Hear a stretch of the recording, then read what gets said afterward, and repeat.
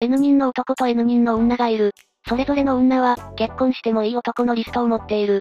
これに従って N 組のカップルを作れるか？一夫多妻は？なし。一切タフもな。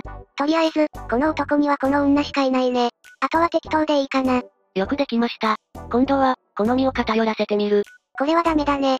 左の女3人と組める男が2人しかいないよ。じゃあ問題。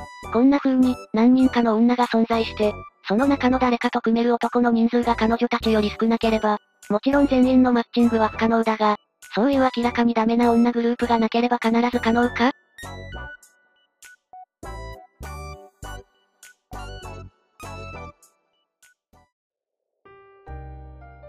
さっきは男女 N 人ずついることにしたが、男は N 人とは限らないことにする。男は余ってもいいんだね。答えはイエス？ああ、この事実を結婚定理という、女の人数 N に関する数学的機能法で証明しよう。まず、N が1の時は、何のドラマもないね。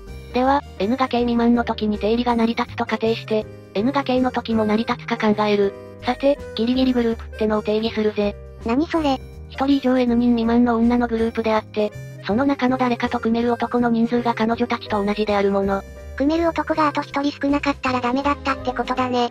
じゃあ、まずはギリギリグループが存在しない場合を考える。その時は問題なさそう。誰か女一人と、彼女と組める男のうち誰か一人を選び、彼らを組ませて消えてもらう。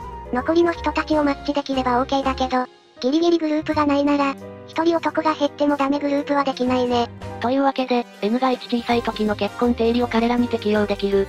機能法の過程か。そしたら N-1 カップル作れるから、消えた1カップルと合わせて N カップル完成。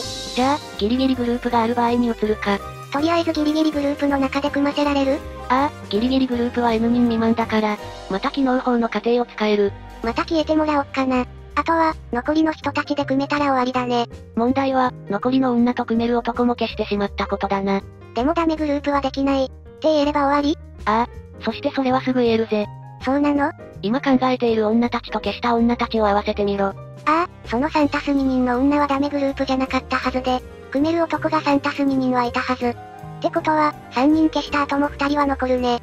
3とか2を何に変えても問題ないな。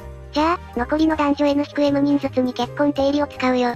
そしたら N-M カップル作れるから、消えた M カップルと合わせて N カップル完成。クオドラデイモンストランドム。よかったらチャンネル登録してね。ご視聴ありがとうございました。